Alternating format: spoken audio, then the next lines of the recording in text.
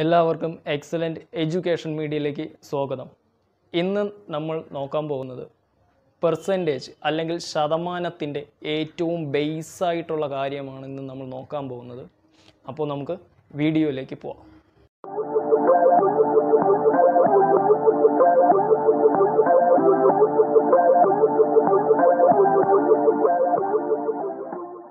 ഒന്നാമത്തെ ചോദ്യം നാല് ബൈ അഞ്ചിന്റെ ശതമാനം രൂപം കണ്ടെത്തുക അല്ലെങ്കിൽ നാല് ബൈ അഞ്ചിന്റെ ശതമാനം എഴുതുക എന്നതാണ് ചോദ്യം.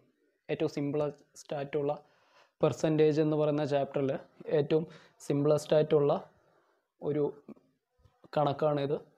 നാല് ബൈ അഞ്ചിന്റെ ശതമാനം രൂപം എഴുതാനാണ് പറയുന്നത്. അപ്പോൾ നാല് ബൈ അഞ്ച് ഒന്നും കൂടെ എഴുതുക. നാല് ബൈ അഞ്ച് ഒന്നും കൂടെ എഴുതുക.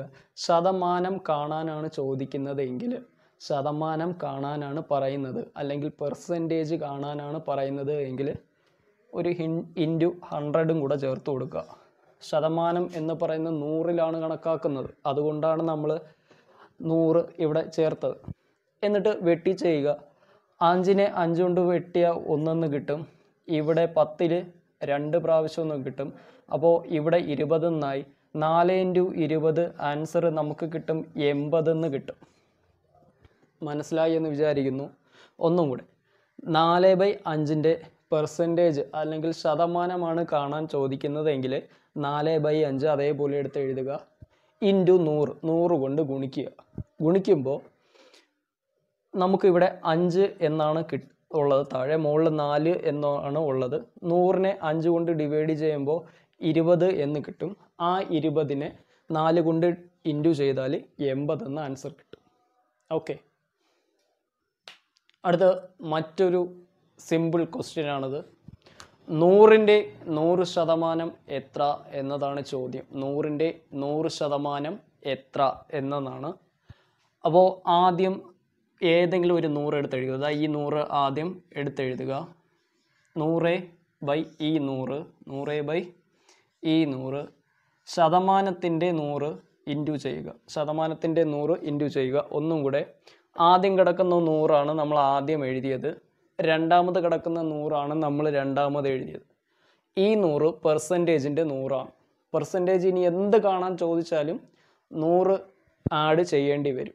നൂറും കൂടെ ഗുണിക്കേണ്ടി വരും അല്ലെങ്കിൽ നൂറ് കൊണ്ട് ഗുണിക്കേണ്ടി വരും. ഓക്കെ.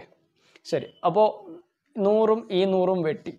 നമുക്ക് കിട്ടിയ ആൻസർ നൂറ് തന്നെയാണ്. ഇത് വേണമെങ്കിൽ നമുക്ക് കാണാതെ പഠിക്കാൻ പറ്റും. നൂറിന്റെ നൂറ് ശതമാനം എത്രയെന്ന് ചോദിച്ചു കഴിഞ്ഞാൽ ആൻസർ നൂറ് തന്നെയായിരിക്കും. ഓക്കെ. മറ്റൊരു ചോദ്യം. രണ്ടും രണ്ട് ബൈ അഞ്ചിന്റെ തുല്യമായ ഭിന്നസംഖ്യ ഏത് അല്ലെങ്കിൽ തുല്യമായ സംഖ്യ ഏത് എന്നതാണ് അടുത്ത ചോദ്യം. അപ്പോൾ ഇതെങ്ങനെ ചെയ്യണമെന്ന് ചോദിച്ചു കഴിഞ്ഞാൽ സിമ്പിളാണ് രണ്ടും രണ്ട് ബൈ അഞ്ചും എന്നതാണ് ചോദ്യം. അപ്പോൾ ഇതിൽ ആദ്യത്തെ ഈ രണ്ട് സംഖ്യകൾ തമ്മിൽ രണ്ടും അഞ്ചും തമ്മിൽ ഇന്റു ചെയ്യണം. അപ്പോൾ നമുക്ക് പത്തെന്ന് കിട്ടും. പത്തെന്ന് കിട്ടും. ആ പത്തിനെ ഈ രണ്ട് കൊണ്ട് പ്ലസ് ചെയ്താൽ പന്ത്രണ്ടെന്ന് കിട്ടും. എന്നിട്ട് താഴെയുള്ള ഈ അതേ അഞ്ച് അതേപോലെ എടുത്ത് എഴുതുക. അപ്പോൾ പന്ത്രണ്ട് ബൈ അഞ്ചെന്ന് കിട്ടി. ഒന്നും കൂടെ.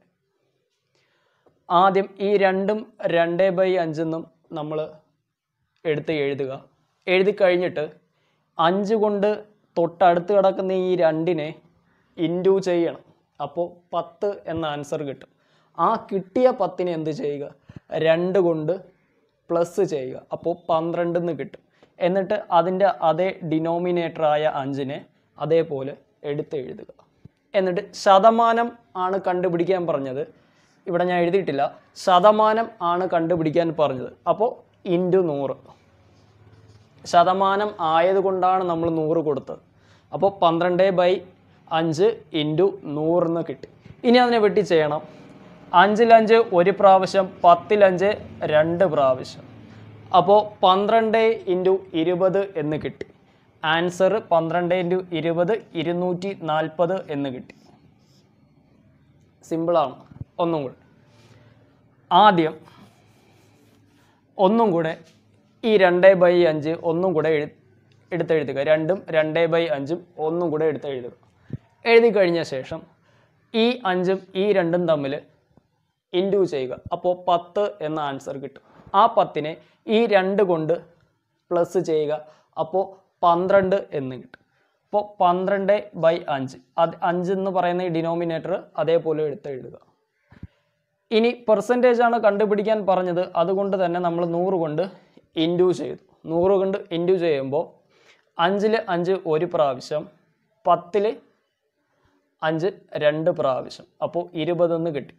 ഇനി ഈ പന്ത്രണ്ടും ഈ ഇരുപതും തമ്മിൽ ഇൻഡ്യൂസ് ചെയ്യണം. അപ്പോൾ പന്ത്രണ്ട് ഇന്റു ഇരുപത് നമുക്ക് കിട്ടിയ ആൻസർ ഇരുന്നൂറ്റി നാൽപ്പത് എന്ന് കിട്ടും.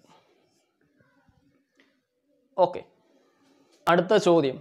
ഇതൊരു ഷോർട്ടായിട്ടാണ് ക്വസ്റ്റ്യൻ എഴുതിയിരിക്കുന്നത്. ഫുൾ ക്വസ്റ്റ്യൻ ഇങ്ങനെയാണ്. പന്ത്രണ്ട് അംഗങ്ങളുള്ള ഒരു കമ്മിറ്റിയിൽ ഒൻപത് പേർ സ്ത്രീകളാണ്. എങ്കിൽ പുരുഷന്മാരുടെ എണ്ണത്തിന്റെ പെർസെന്റേജ് അല്ലെങ്കിൽ എണ്ണത്തിന്റെ ശതമാനം എത്രയെന്നാണ് ചോദ്യം. പുരുഷന്മാരുടെ എണ്ണം എത്ര എന്നല്ല ചോദ്യം. എണ്ണത്തിന്റെ പെർസെന്റേജ് ആണ് ചോദിച്ചിരിക്കുന്നത്. അപ്പോൾ നമുക്ക് മൊത്തം ടോട്ടൽ ആദ്യം എഴുതിയെടുക്കാം. മൊത്തം ടോട്ടൽ എന്ന് പറയുന്നത് പന്ത്രണ്ടാണ് ടോട്ടൽ എന്ന് പറയുന്നത്. ഇനി ആ പന്ത്രണ്ട് പേരിൽ ഒൻപത് സ്ത്രീകളാണ് എന്നാണ് പറയുന്നത്. ഒൻപത് സ്ത്രീകളാണ്.